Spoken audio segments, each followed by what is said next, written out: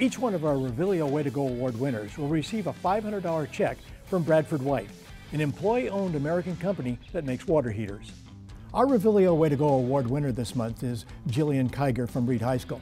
Jillian, you're involved in a lot of things, but I look at your GPA. You have a 3.95 weighted GPA, but something that I saw that caught my eye, you're involved in the Special Human Development Program. What is that? Um, it's a program with levels one, two, three, and advanced studies, which I'm in, and it's basically a class where you learn about the development from baby to older adulthood in the psychological view of that. Some of the other things in your studies at Reed High School, math challenges you, but you like yes. it. Why? Yes. I love a competition and I see math as a competition and when I beat it, I get that, that joy inside of me.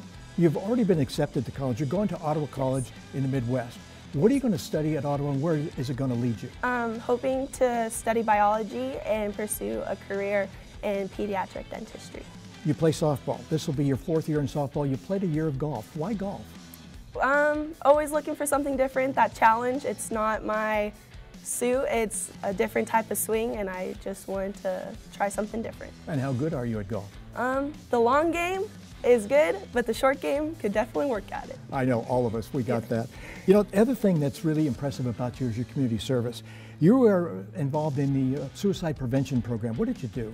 Ever since I was little, my family and I attended a suicide prevention walk put on by the community and this year, they unfortunately couldn't put it on, so a couple of classmates and I saw it as an opportunity to bring awareness to the Reed community and recreate our own, getting um, 65 participants and raising $645 for wow.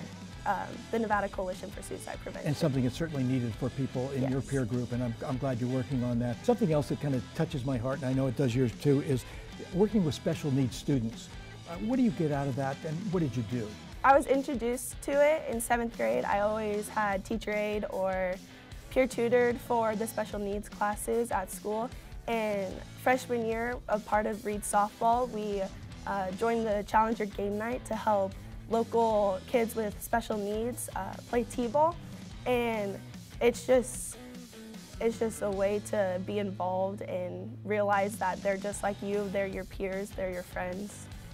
Now you know a lot more about Jillian Kygar, and you know why she's a Reviglio Way to Go Award winner.